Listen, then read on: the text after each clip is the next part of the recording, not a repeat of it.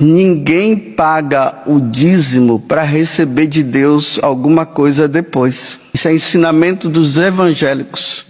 O padre vai nos orientar que esta forma de pagar o dízimo é errada e não vem da Igreja Católica.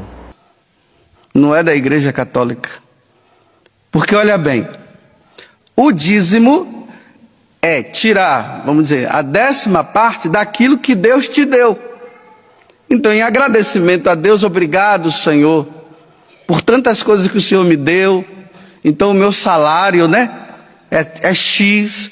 Então, eu tiro a décima parte e dou lá para a igreja.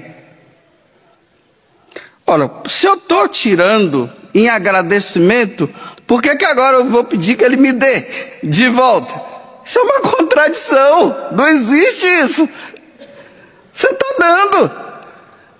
Você está dando para o pobre, você está dando para as necessidades da, da, paróquia lá, da sua igreja. Tem doutrinas que não são católicas que elas ensinam que você tem que pagar 10% para que você possa obter algo em troca, algum benefício espiritual.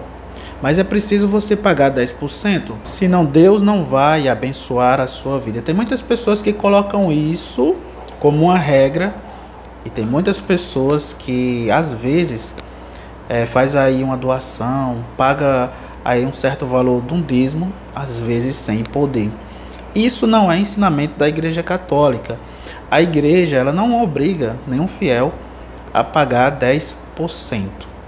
A gente vê passagens bíblicas no Novo Testamento, por exemplo, onde Paulo vai dizer que a gente tem que pagar o dízimo de acordo com as nossas necessidades.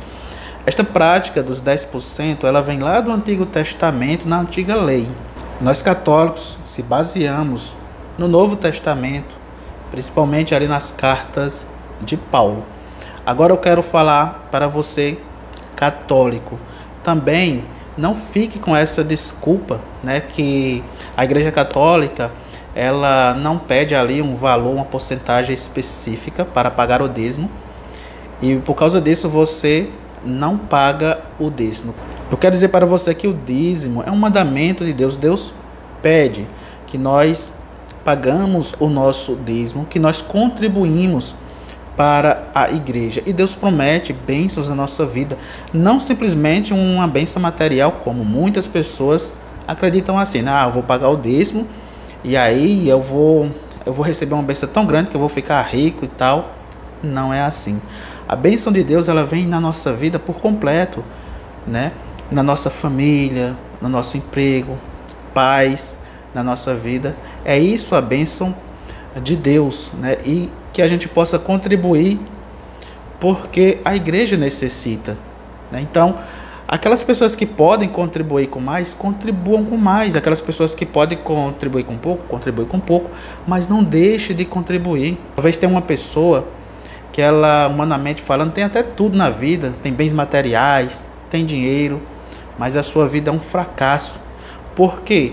Porque a bênção de Deus não está apenas nos bens materiais. A bênção de Deus está numa vida plena, numa vida de paz na família, né? uma vida de alegria, de conforto, de esperança.